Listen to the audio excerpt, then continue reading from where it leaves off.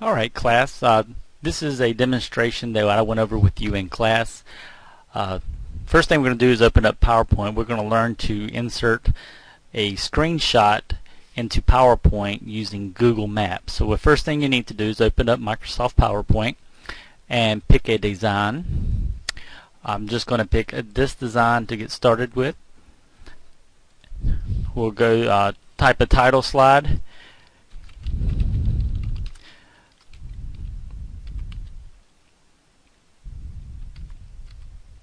You can pick any design that you feel appropriate.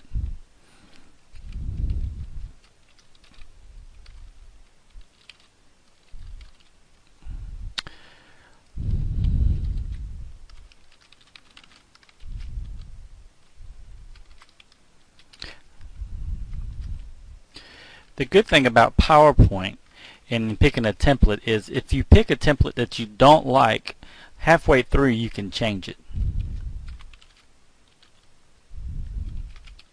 I'll show you that. So now I've decided I don't like this design so I'm going to choose uh, this design which is the same as this one.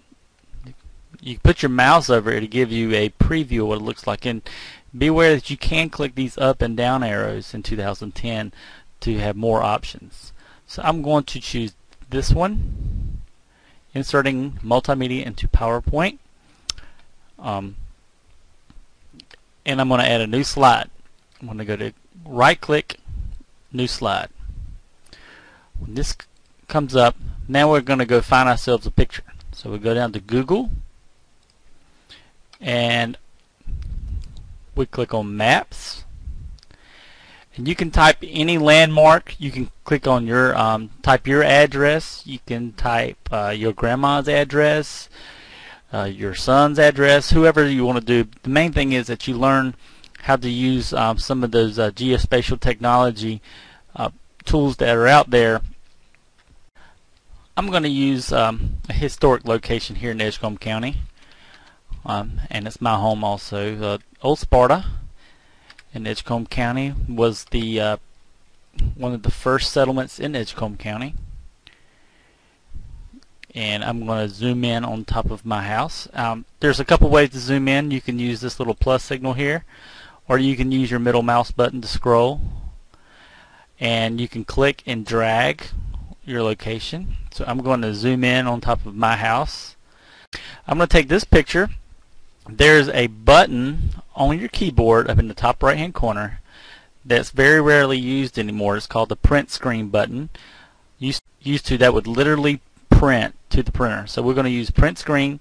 Nothing will happen. You will not see anything happen at that point, but it did happen. So go back to your presentation. Go to insert because we're inserting something. And that was a screenshot. And because I hit print press print screen, I can click here and we'll put that there. Now, I do not want the browser and I do not want all this other stuff around it. So I'm going to do something called crop. Crop is eliminating the parts of the picture that you do not want. So I'm going to click on crop and you get this little cropping signals up these little black borders. Now this isn't resizing, this is cropping which means I'm going to eliminate these parts here I just want to isolate on my house and my property.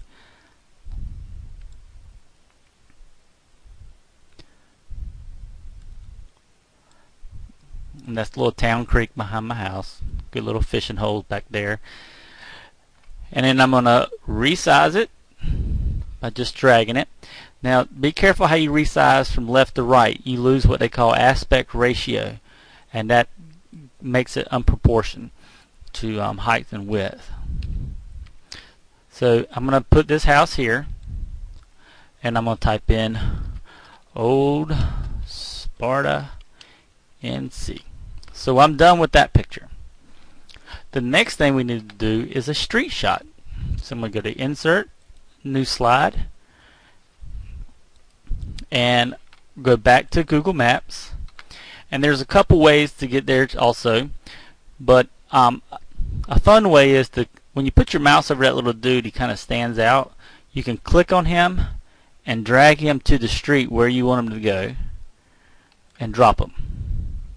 Now this will be interesting. It's interesting to me anyway. You can look around all you want. Um, there's actually a van that drives around for Google that takes pictures of everything around it. So um, I'm going to take you to my house and as you can see the picture of my house is not as up to date as the picture from the uh, satellite because that's my single wide trailer that I lived in for several years saving up money to build my house. So I want to stop here and they're actually digging footers for my house. So I'm gonna press print screen again, go back into PowerPoint, street view,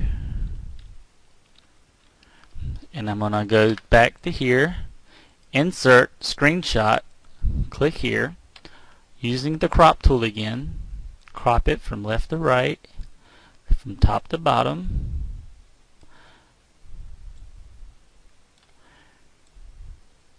and then click outside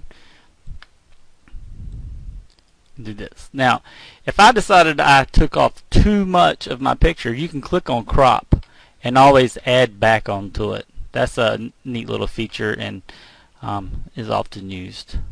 So, but anyway, that's your possibilities. So we do street view, and there you go.